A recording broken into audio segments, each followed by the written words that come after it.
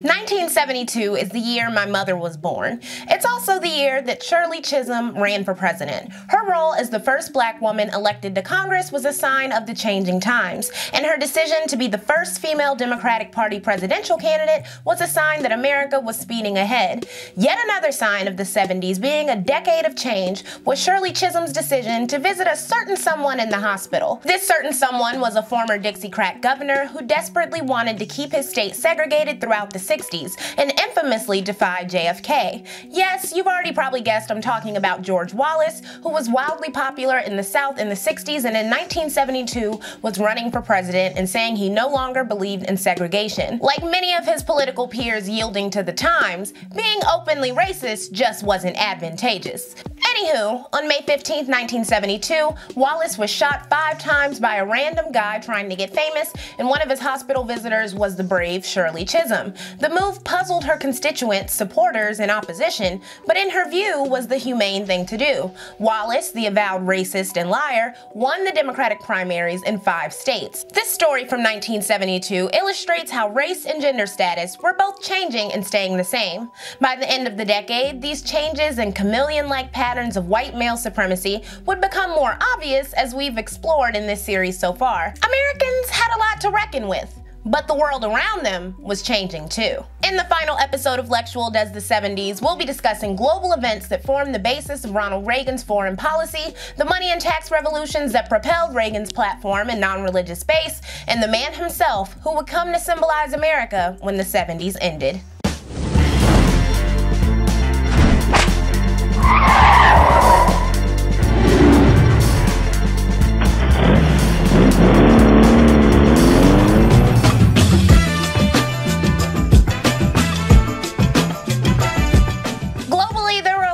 Interesting things happening in the 70s. The Soviet Union, which had been the seminal communist threat since 1922, seemed to be gaining influence. Many Americans spent the mid 20th century believing that communists were a single unified threat across Eurasia, with the Soviets at the helm. But that wasn't the truth. By 1969, Chinese and Soviet troops were getting into conflicts along their shared border. The rift between China and the USSR only grew when Nixon visited Beijing in 1972 and began a Chinese American alliance. But the USSR still seemed strong, and so did the Red Scare. Communists wrangled control in Cambodia and Vietnam by 1975.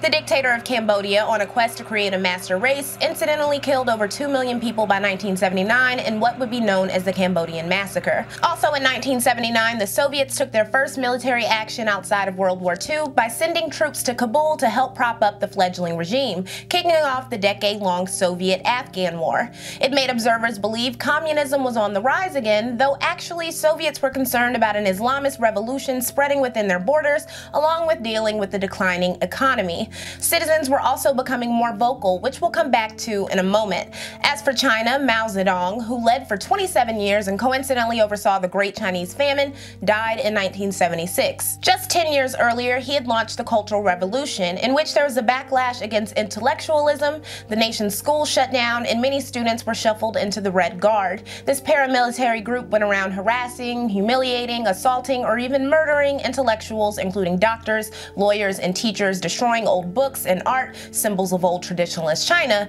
and assaulting dissidents. Civil war led to military dictatorship by late 1968, with fleeing refugees and a death toll somewhere between hundreds of thousands and millions. When Mao died, more than three quarters of the population lived in poverty, with the Communist Party deciding where people worked and what every factory made. Big changes would be ahead in the 80s, thanks to the 1978 rise of the modern architect of China, Deng Xiaoping. Meanwhile, Israel expanded its borders immediately before the 70s began. Thanks in part to a series of disastrous meddling by Britain in the early 20th century, Israel had taken over the land then referred to as Palestine in 1948 and displaced nearly a million people of Arab descent. Israel's national ideology, Zionism, which promotes their right to their ancestral homeland, promised to them by God in the Bible, had been growing since the late 19th century. The forced exodus of Palestinians is called Nakba. Translated in Arabic, To disaster or catastrophe and had been taking place since 1947. A series of disagreements and skirmishes between Israel and Jordan, Syria, and Egypt culminated in the Six Day War of 1967, in which Israel won land three times its original size, including the West Bank and Gaza Strip.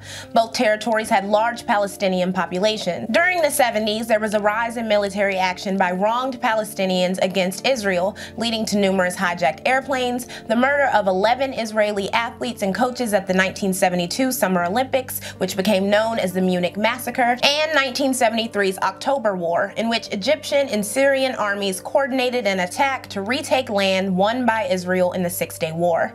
The Israelis were backed by America and the Arab nations backed by the Soviet Union. The heavy casualties and violence led to a mutual ceasefire and eventually the first peaceful recognition of Israel by an Arab country, Egypt, in 1978 through the Camp David Accords facilitated by Jimmy Carter. Egypt also began to move away from Soviet influence. Events like the Munich massacre and the 1973 October War were covered widely in American media, with empathy skewed towards Israelis. America officially defended Israel while other nations through the UN declared Zionism a form of racism in 1975. That resolution would be repealed 15 years later. In America, rhetoric about the Judeo Christian tradition grew, and open anti Semitism, which had been dropping since the Holocaust came to light, continued to drop. But not everybody was on board with Israel.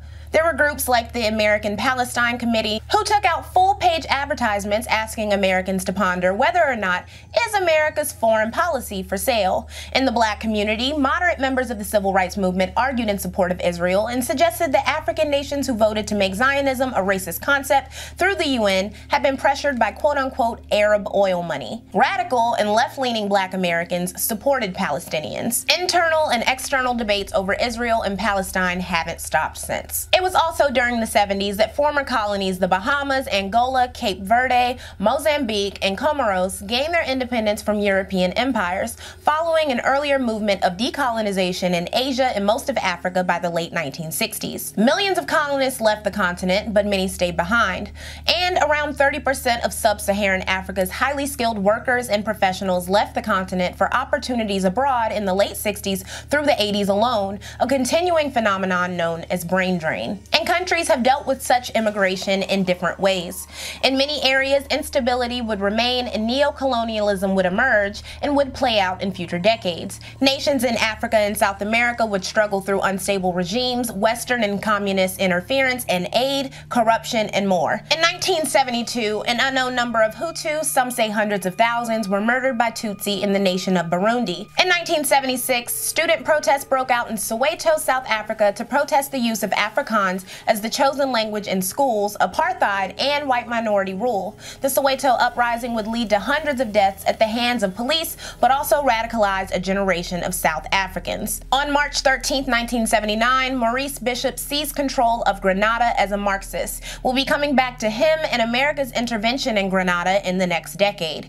Ethiopia suffered a two-year famine that killed over 100,000 people beginning in 1972. It also began fighting with Somalia in 1977 which would go on for the next 11 years in the Ogaden War. Post-colonial literature and ideology came to greater prominence during this era, changing international discourse and expectations. Books like Frantz Fanon's 1961 The Wretched of the Earth and Edward Said's 1978 Orientalism would become key pillars of post-colonialism. With the fall of outright colonization came a growing interest in egalitarianism and a commitment, albeit a begrudging one, to appear to care about respecting the self-governance of all nations nations, including the fragile ones just breaking free of colonial rule. Self governance, however, would not include allowing these nations to mistreat its citizens thanks to new concerns about human rights. Going back to the Soweto uprising, the negative press that the government received pressured South Africa into making apartheid appear more benign and less violent. The concept of universal human rights had been around since the 17th century, though it was never popular.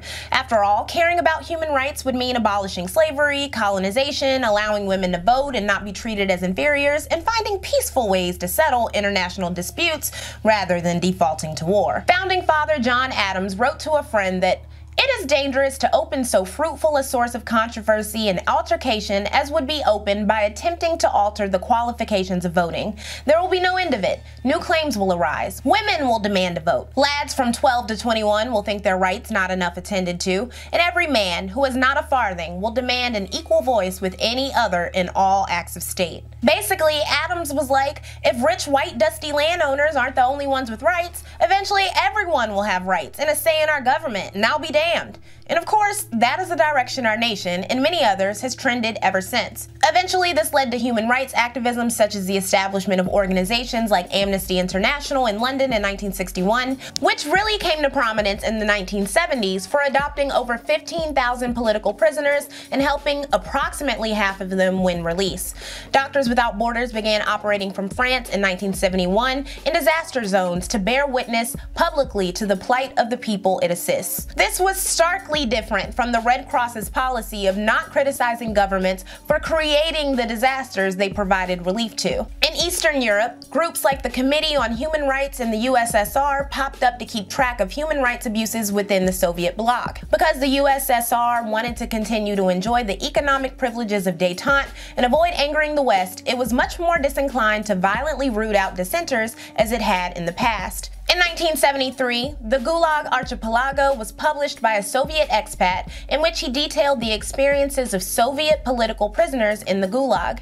Human rights activists of this era rejected Cold War ideas about communists and anti communists and focused on concrete abuses of all regimes. They challenged national policies about labor, immigration, race, women, free speech, and torture. In America, members of Amnesty International grew from 6,000 in 1970 to 35,000 in 19. 1976. In all the time leading up to the 70s, when we began concerning ourselves with human rights, America had always billed itself as anti-imperialist. Even while we invaded kingdoms like Hawaii for a strategic naval base or seized nations like the Philippines and Puerto Rico, we acted like we were crusaders of sovereignty. But during the 70s, America was forced to minimally reckon with its own track record. In addition to the brutal violence of the 1960s civil rights movement, there were revelations of anti-democratic behavior overseas, like 1969's My Lai massacre. The CIA's Phoenix program used various methods from torture to assassination to stamp out the Viet Cong during the Vietnam War. Hella atrocities happened at CIA-backed interrogation centers.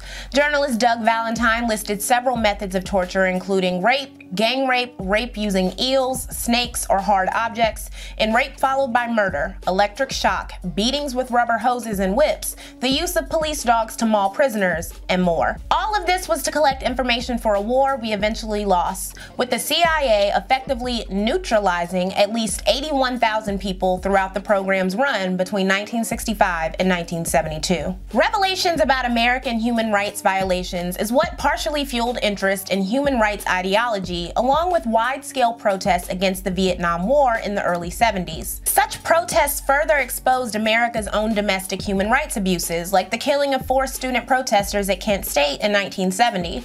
Also, America's coarse abuse of human rights in the 70s helped radicalize a generation of political thinkers and activists who serve as anchors for modern ideologies and discourse today. Ready to make itself sinless enough to throw stones, the first congressional hearings on human rights were held in 1973, chaired by Minnesota Democrat Donald Fraser. Such hearings grew between 1974 and 1976, and Congress eventually began rescinding aid to countries found to most egregiously violate human rights. Several Latin American countries refused aid upon hearing human rights requirements, which Jimmy Carter, by the way, was a big champion of, in direct contrast to Nixon and Henry Kissinger, who believed only the external actions of foreign governments mattered, not the actions they took towards their own citizens. This pivot towards concern for human rights was not all positive vibes and sunshine, and as anyone watching this channel likely knows, would have resounding effects on American foreign policy in the decades to come.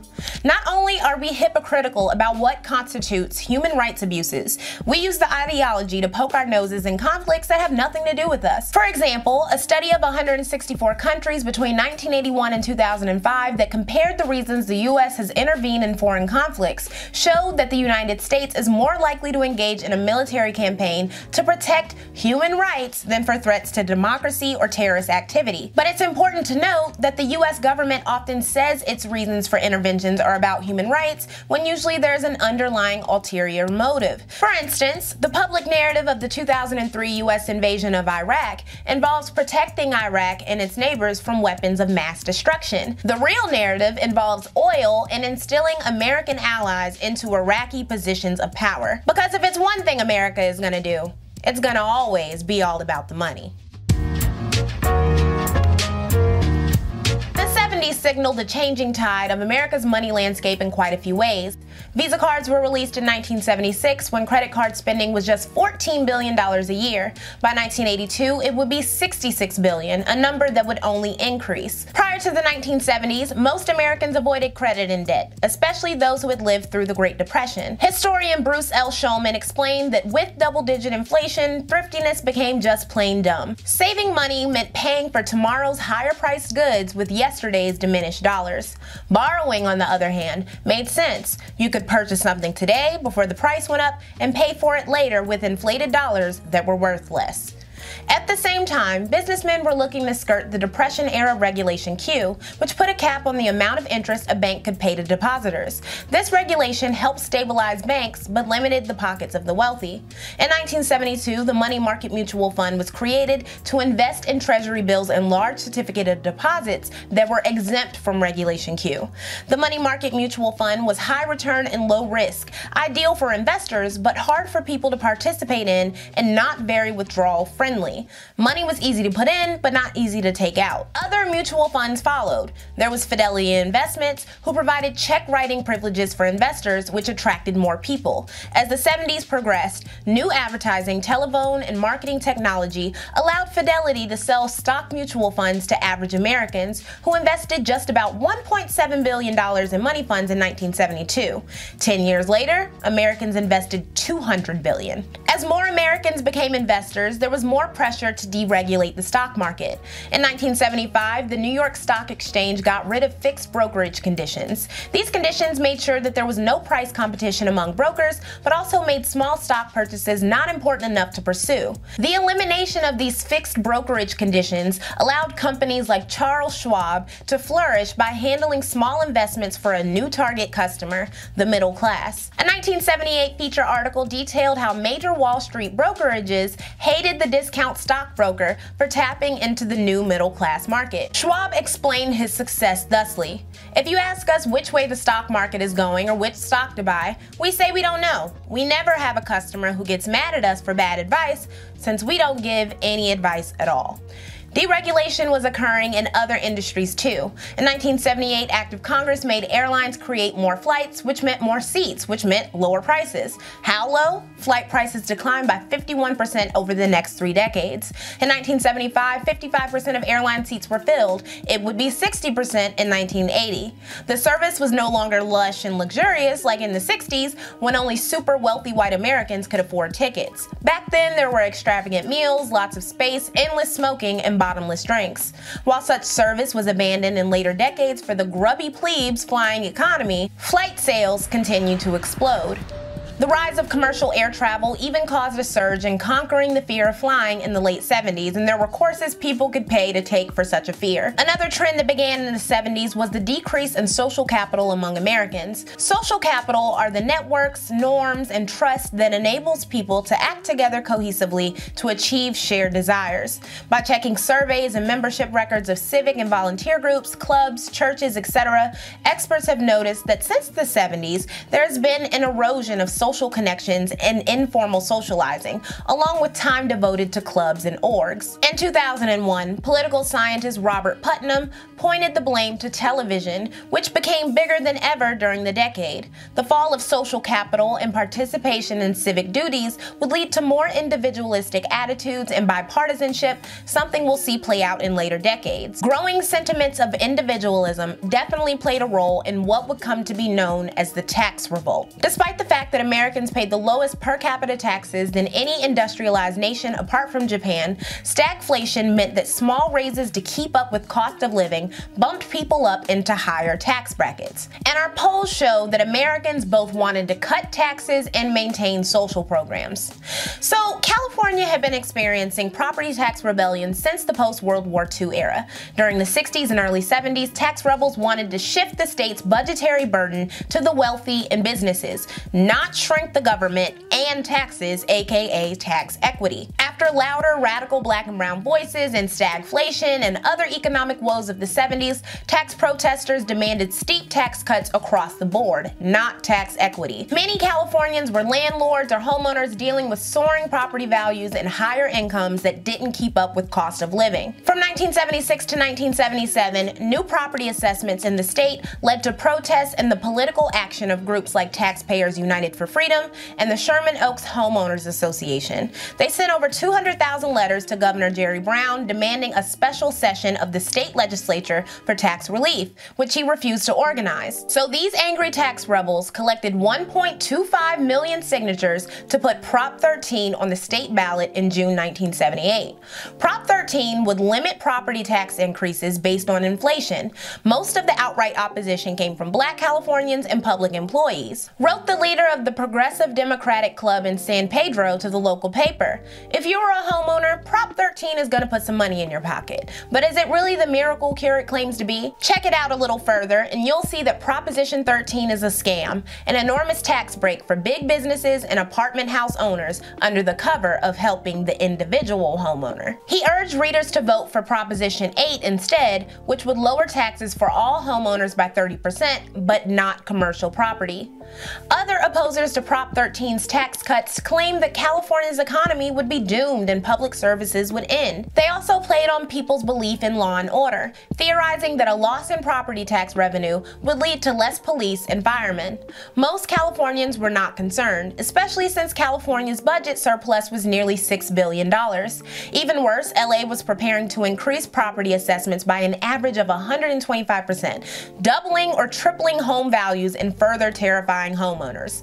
Prop 13 passed by a 2 to 1 margin. Property owners saw taxes drop by 57%, and it was ensured that home values could not rise any more than 2% a year unless they were sold and then reassessed at market value.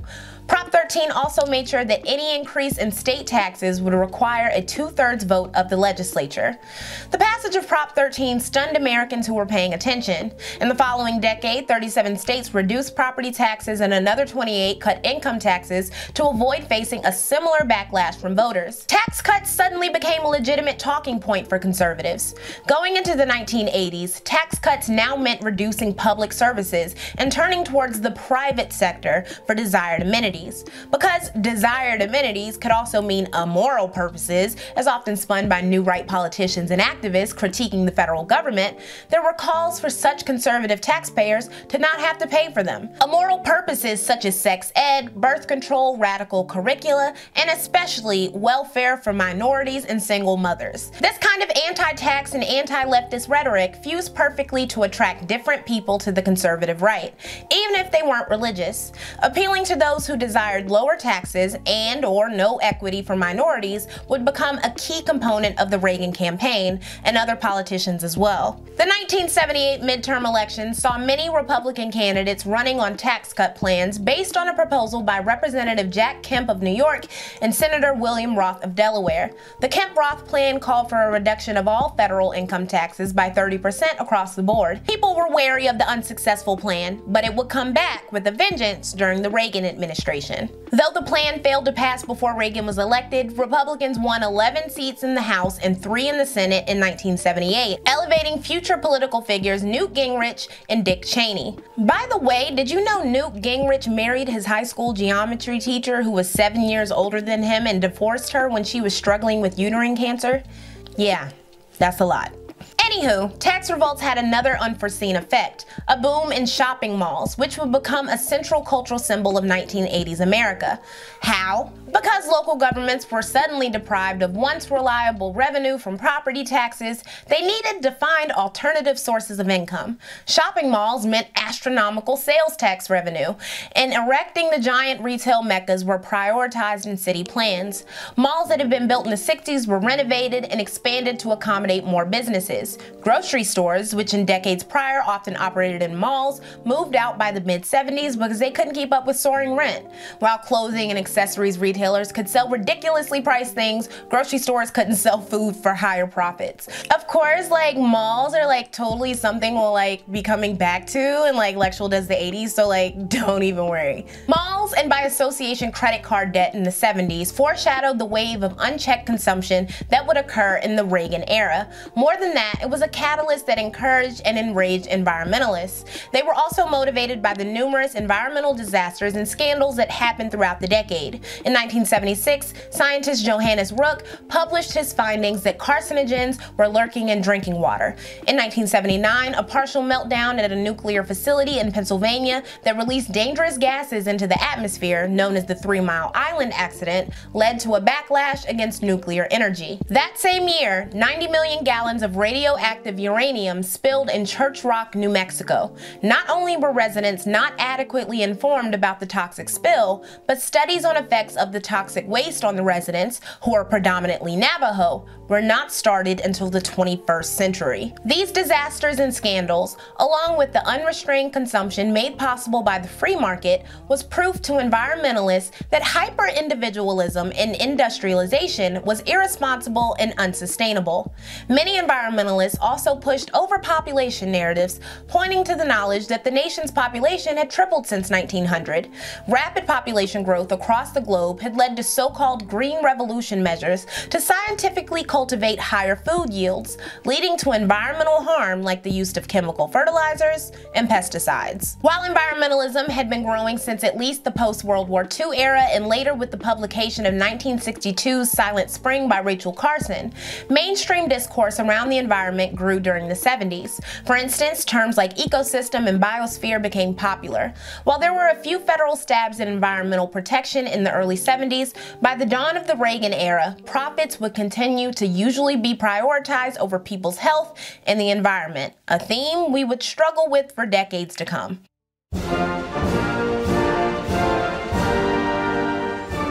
Ronald Reagan was born in 1911 in Illinois. As a teen, he worked as a lifeguard and later as a student at Eureka College, he studied economics and sociology. In the early 30s, he was a radio announcer for the Chicago Cubs before transitioning into a budding acting career. Before he could become a major star, he was called into active military duty, where he mainly participated in motion picture units that created training films for the Air Force. After military duty, he returned to making films and even served as president of the Screen Actors Guild seven times. His presidency was a key part in making residuals required for television actors when their performances were rerun. While that's nice and all, it was later revealed that during the late 40s, Reagan and his first wife, Jane Wyman, were giving the FBI names of actors who they believed to be communist sympathizers.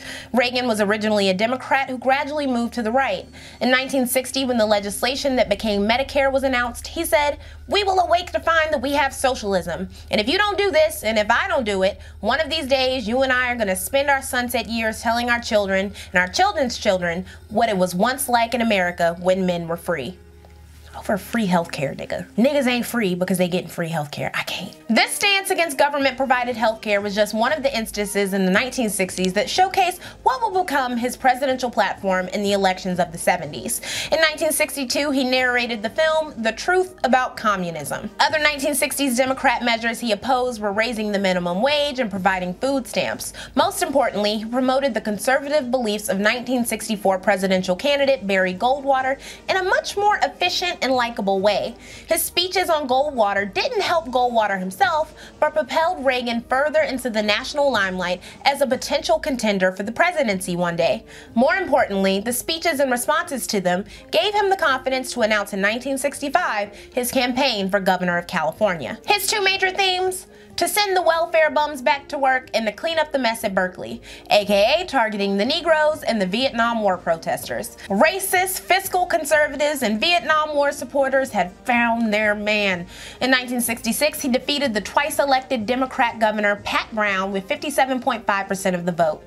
As California governor, he criticized universities for their allegedly soft treatment of protesters, sent the National Guard to occupy Berkeley for 17 days, reluctantly signed a pro abortion bill he later regretted, and the legislation that Reagan most regretted during his time as California governor was signed in 1969. It was the first no fault divorce legislation in the U.S. His family values supporters in the late 70s and 80s probably skipped over that detail. A law Reagan never regretted was the Mulford Act. The bill had been produced to stop the Black Panther Party for self defense from legally policing their own neighborhoods. The bill would repeal an earlier law allowing the public carrying of loaded firearms. The Black Panther Party marching into the California state capitol with guns sped up the legislation, which Reagan, a card carrying NRA member, would sign happily in 1967. Despite losing the Republican primary to Nixon in 1968, Reagan was reelected as California's governor in 1970. Though he lost the Republican primaries to Gerald Ford in 1976, the margin was slim, signifying his growing influence among Republicans. They especially loved how he accused Ford of being soft on communism and having a weak foreign policy, and how he emphasized that the military needed to reclaim its global status. By the time the election season for the 1980 election began, Reagan was a crowd favorite. During the entirety of the Carter presidency, he held frequent radio addresses and knew how to attract voters. He focused on the federal government's propensity to overspend, overstimulate, and overregulate.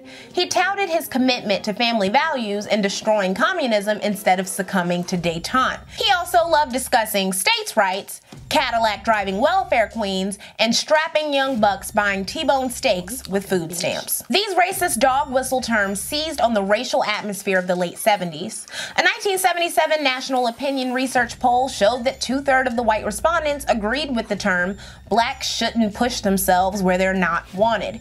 Reagan had numerous KKK members working for his campaign, and his own beliefs were further substantiated when he made an appearance seven miles away from Philadelphia, Mississippi on August 3, 1980. He said, I still believe the answer to any problem lies with the people. I believe in states' rights. If Philadelphia, Mississippi sounds familiar to you, that's because it's the small town where three civil rights workers were murdered by KKK members and law enforcement in 1964. Politicians know about optics. Ain't nobody stupid. Only two days after that speech, Reagan spoke before the National Urban League in New York, telling his audience of black listeners that I am committed to the protection and enforcement of the civil rights of black Americans. For too many people, conservative has come to mean anti poor, anti black, and anti disadvantaged. His speech was, of course, well received by black moderates and assailed by leftists. Reagan's blatantly contradictory campaign would no doubt come full circle in the 1980s. A major focus for voters was the ongoing Iran hostage situation, which began in 1979 when a group of Iranian students entered the U.S. Embassy in Tehran and took over 52 hostages, who would be held for 444 days. The direct cause of the hostage situation was Jimmy Carter's decision to allow the expelled Shah of Iran, an installed American ally, into the country for medical treatment. The hostage situation also served as a way for the Iranian students to call for an end of American interference in Iran. Despite frequent attempts at negotiations, Carter could not secure a release for the hostages. They weren't released until January 21, 1981, just hours after Ronald Reagan's inaugural address. Though Reagan did nothing, it was one of the earliest events that signified a new era with a heroic leader who got things done. Another big blow to Carter's crumbling chances to win the presidency was the Abscam scandal, which was broadcasted widely on television. For two years, agents of the FBI posed as fictional representatives of a fake Arab sheik and bribed hella elected officials at the local, state, and federal levels. Originally beginning with buying stolen art, the FBI eventually uncovered people who sold fake stocks and bonds, and later, New Jersey politicians who were willing to be bribed for coveted casino deals in Atlantic City and special legislation. The operation was reported 10 months before the election. Seven of the people arrested and convicted were congressmen, and all of them were Democrats except one. This, plus Jimmy Carter's inability to end the Iran hostage crisis, would be his final undoing. Reagan seized the opportunity to further denounce big government, Democrats, and point out corruption on the watch of Jimmy Carter. At 69 years old, Reagan would win the electoral and popular votes in landslides, making him the oldest person at the time to be elected for a first term. He carried 44 states, and Republicans won control of the United States Senate for the first time since 1955.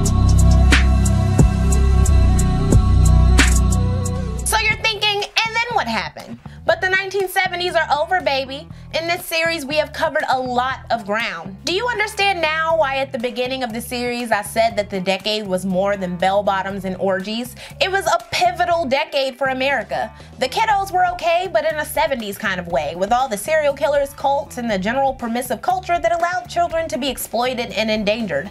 While much of the nation suffered from a stagnant economy, those with money and power erected new rules and trampled on old ones that would have political and economic ramifications in years to come. The wealth gap between the poor and rich would grow wider, while a newly minted middle class looked hopefully to the future. Black Americans gained new rights and demanded more, became pop cultural icons, burrowed further into electoral politics, and still suffered from systematic racism that had mutated into something much sneakier and friendlier than the racism of the pre-civil rights movement. Americans of all colors became more individualistic and tribalistic, while also living in a world becoming increasingly globalized. Globalization meant that nations were more at the mercy of international money markets, but it also meant that there were new cultures to explore, new goods and technology to enjoy, new trends to dive into, and more ways to express oneself than ever before. American culture flooded other nations in unforeseen levels, and English finally became the world's primary language of markets and social interactions. Self expression was increasingly important in the various movements to procure rights for marginalized groups, from indigenous people to women to the elderly. Women of all colors gained new rights and freedoms, even though the majority of them would never identify as feminists and in fact never have. The LGBT movement gained momentum before AIDS and Reagan would chip away at progress. Fear of marginalized groups drove the organization of the New Right and would continue to play a role in America in the 80s, and yes, you already know, America now. The various groups in the New Right came together inorganically and efficiently, and the variety of ideologies on that side of the spectrum could be its own series altogether. But I think I've done what I set out to do when I created this series, giving you a well-rounded look at the decade that my own 12th grade United States history course never even covered. It's a decade that deserves more love and study, and I hope this series has given you a lot to ponder, and I hope you check out the books and readings I've been listing on Patreon. So up next, I've been working on Lexual Does the 80s for the past six months or so, and I can't wait to bring that series to you later this year. If you've enjoyed Lexual Does the 70s and learned something new, please tell me your favorite thing in the comments. Also, support Intelexual Media content by grabbing a Lexual Does the 70s poster or keychain from my store. Thanks so much for watching, and thank you to all my patrons for helping me produce this feature-length series.